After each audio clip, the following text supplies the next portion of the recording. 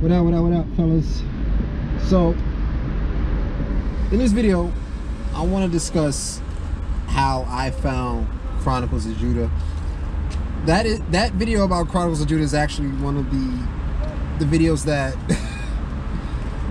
it's like to me that video right there is an awesome example of the compound effect because that video to this day is still one of my most watched videos and brothers still subscribe to me based on that video. And I made that video maybe two years ago. So kind of want to touch on how did I find Chronicles and what was I going through at that time to find him? Now it's scary.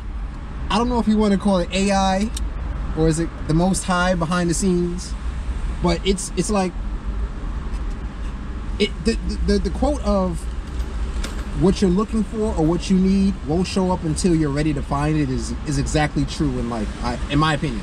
Like I just not only chronicles but other individuals I've been stumbling upon them just happenstance where it's like damn is it the algorithm or is it the most high bringing them to you know but either way.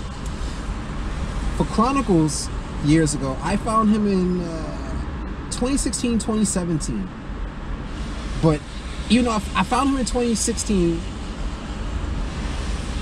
maybe even 2015. But I didn't really need him and start really not need him, but I didn't really get into what he was saying and, and the impact he had on my life until 2017. So I got into the real estate sales business in 2013, and my daughter was born that year. And when that happened, I didn't have a moment to think about life beyond what am I gonna do to try to make as much money as possible to give my daughter a head start?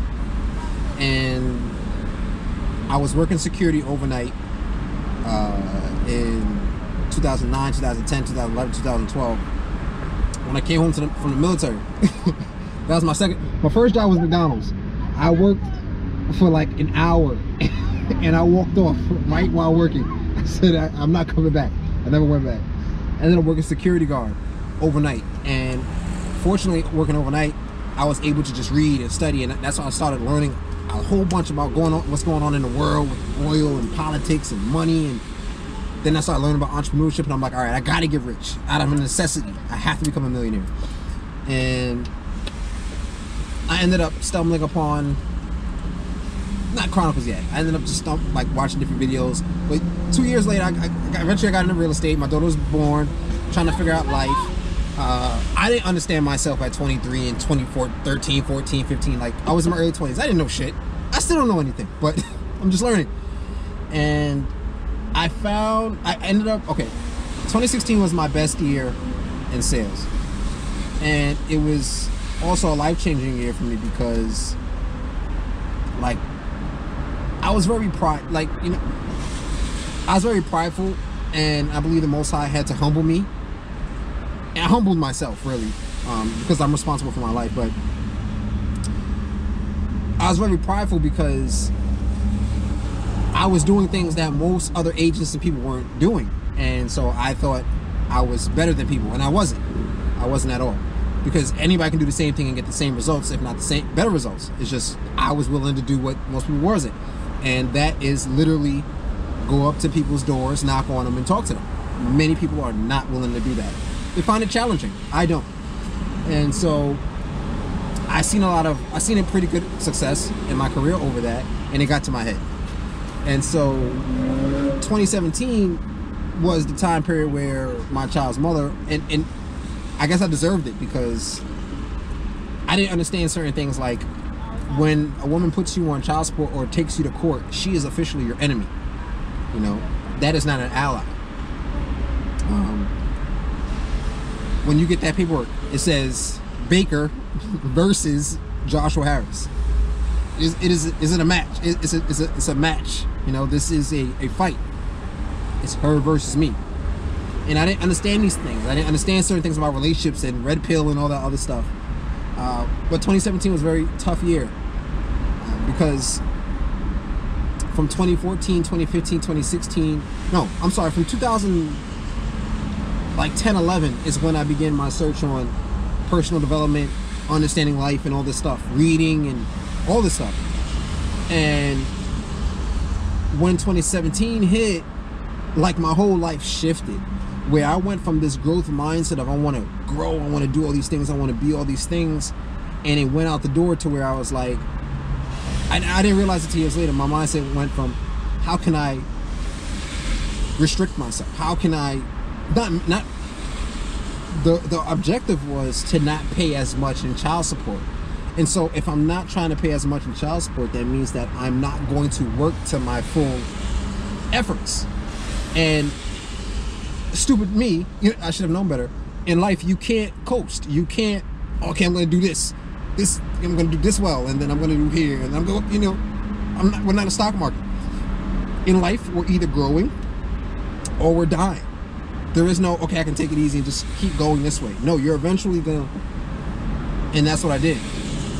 I was no longer trying to go up, up, up, up, up. My life was like, all right, I'm trying to maintain and keep it, but it does, it does, especially in sales especially in a business when you're working for yourself. Like you're either going up or going down. There's no in between. And I ended up going down, and um, somehow, I mean, before that I stumbled upon Chronicles, but during those bad times, I ended up stumble, stumbling upon Chronicles, and I'm glad I found found him when I did because I was just really going through it, and I didn't want to talk. I couldn't tell. Nobody could relate you know, I, I was 23 and I'm looking at my life like I'm literally going through the things that my father went through. Um, I'm, I'm experiencing his struggle, you know, and it gave me so much more respect for why he wasn't in my life when he wasn't. Uh, because I wouldn't want to be around my mother or my children at that time either. And he was able to pull through it, you know for me it's a lot more difficult because I'm on commission. I don't get a check every two. So it's like it's a lot more stress. But anyway, I found Chronicles during that time period and his words just hit different. It just hit different, you know. I've always admired and I still do admire anyone who speaks and they speak with conviction with the with the backing or or the, the, the foundation of the most high because it, it, to me it shows that they're speaking from a different level.